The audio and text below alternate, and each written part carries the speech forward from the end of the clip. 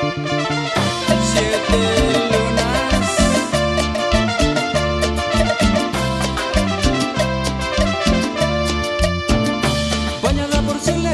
cabellera, rociada por la espuma del río Magdalena, con el viento fuerte envuelta en la brisa, hay su sedienta.